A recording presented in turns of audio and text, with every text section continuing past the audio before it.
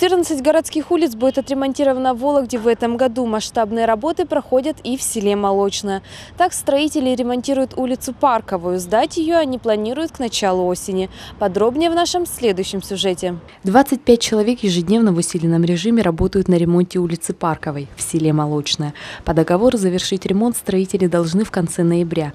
Но закончить работы бригада планирует раньше запланированного срока. На сегодняшний день ремонтируется участок полкилометра улицы Парковой. Ширина проезжей части 7 метров. На сегодняшний день ведутся, э, проведены работы по фрезерованию проезжей части, то есть это снятие старого асфальта. В порядок будет приведена не только проезжая часть, будут построены и тротуары 3 метра в ширину по обеим сторонам дороги. Они будут оборудованы съездами для инвалидов, для колясок.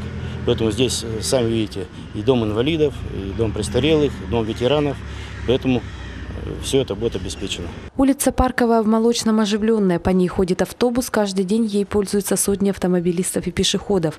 И временные неудобства жители готовы потерпеть. Ведь ремонта дороги ждали с нетерпением. Пусть нет, ремонтирует, пусть делает. Конечно, Это для конечно, нашего блага. конечно. Молодцы. Молодцы, молодцы. Да. И расширяет, она шире вот будет. Это прекрасная вещь. Здесь автобусы, здесь люди ведь живут.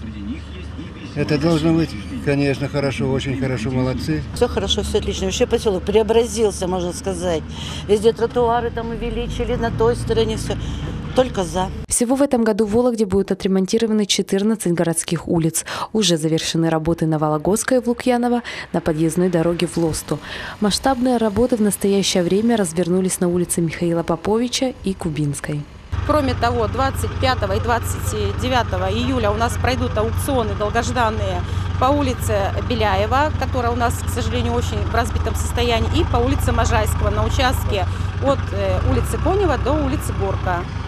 Кроме того, в планах в этом году еще улица Фрезиновская, и э, ремонт улицы Карла Маркса. Все работы, согласно контрактам, должны быть сделаны до конца ноября. Продолжается в городе и ямочный ремонт дорог. Общая площадь, на которой будут выполнены эти работы, более 40 тысяч квадратных метров. В ближайшее время бригады приступят к ликвидации колейности на дорогах и мостах. Полина Солота, Максим Тышковец, Вологда портал.